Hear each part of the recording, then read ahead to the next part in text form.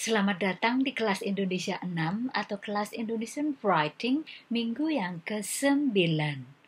Minggu ini kita akan meneruskan membaca, menerjemahkan, dan mencoba memahami naskah drama oleh teater Gandrik yang berjudul Brigade Maling. Jangan lupa, seperti yang saya terangkan minggu kemarin, naskah drama Brigade Maling ditulis oleh Agus Nur, Heru Kesawamurti, dan Indra Tranggono berdasarkan workshop teater Gandrik pada tahun 1993 dan 1999. Jadi ditulis pada saat era Orde Baru atau rejim Soeharto.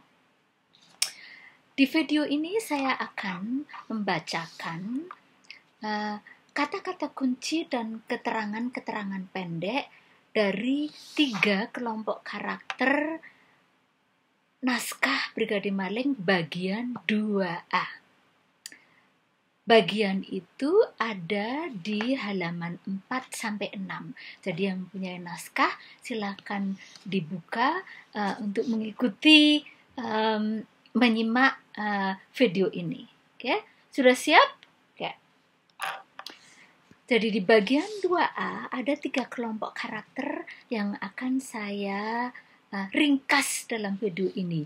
Tiga kelompok karakter itu adalah sekelompok penduduk, suri lebet, dan eyang kantong. Kata kunci dan keterangan pendek dari uh, karakter yang pertama, sekelompok penduduk bermacam-macam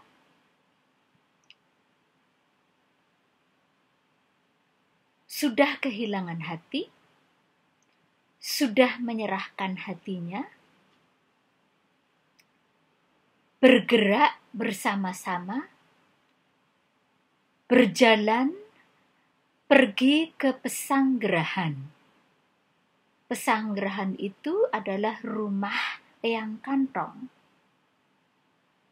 Mereka bergerak bersama-sama sambil berteriak, "Eyang, eyang, eyang."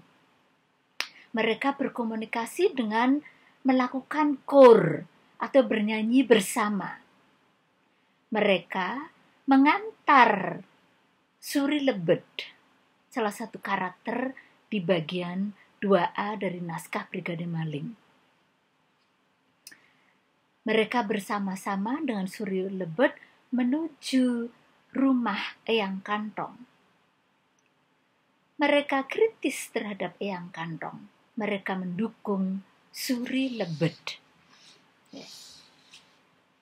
Karakter yang kedua, bagian 2A adalah Suri Lebet. Jadi dia perempuan muda sekitar 25 tahunan.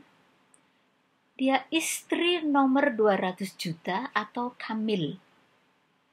Dia berani, cemas akan keberadaan Kamil, mencoba mencari Kamil, merasa bertanggung jawab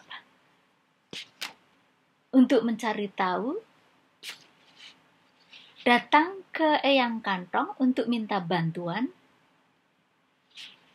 Suri lebet lucu, sinis, kritis, dia berbicara dalam bahasa Indonesia dan bahasa Inggris, tidak takut kepada Eyang Kantong, tidak begitu percaya kepada Eyang Kantong.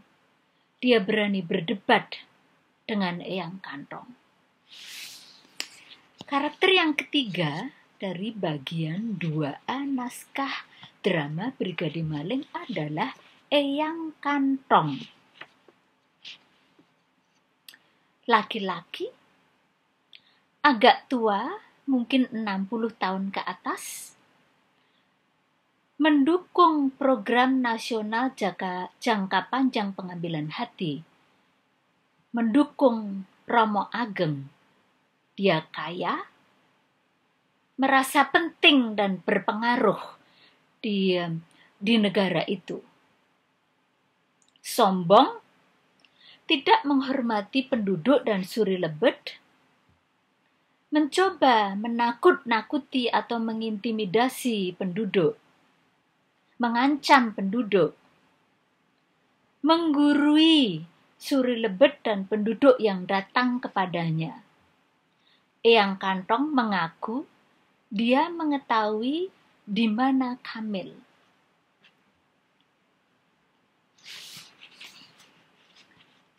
Jadi demikian tadi uh, tiga kelompok karakter dari naskah drama Brigade Maling di bagian 2A. Selamat menyimak, jangan lupa mencatat kata-kata kunci dan keterangan pendek tadi untuk mencoba memahami isi naskah um, drama uh, semester ini. Sampai jumpa minggu depan.